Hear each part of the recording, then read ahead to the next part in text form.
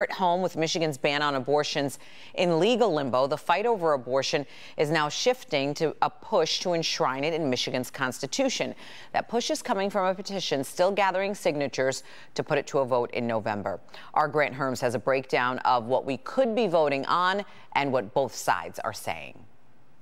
If this gets on the ballot in November, it'd be asking voters to make Michigan join nine other states that already have abortion as parts of their constitution. It would also supersede Michigan's 1931 abortion ban that's still on the books, even if it's on hold. As Michiganders wait to learn the legal fate of the state's 1931 abortion ban, the focus now shifting to what could be on the ballot in November, making abortion a part of the state's constitution. The petition currently being circulated by the group Reproductive Freedom for All Michigan says reproductive care like childbirth, contraception, and abortion shall not be denied, burdened, nor infringed upon, but also says the state can regulate abortion, quote, after fetal viability, provided that in no circumstance shall the state prohibit an abortion that in the professional judgment of an attending healthcare professional is medically indicated to protect the life or physical or mental health of the pregnant individual.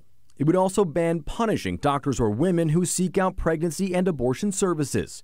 In the hours after the Supreme Court's decision, supporters calling for thousands to sign their names. This November, we have the right to look today's injustice in the face and tell all of our political and judicial leaders that we refuse to go backwards. But opponents say the measure would allow unlimited access to abortion, alleging it would allow any procedures up to birth, despite the fetal viability provision. I want every woman to hear me when I say that we stand with them.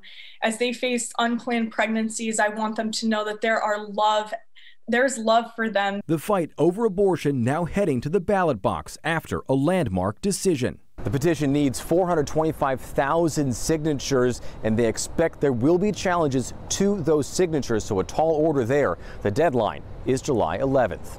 Grant Hermes, Local 4.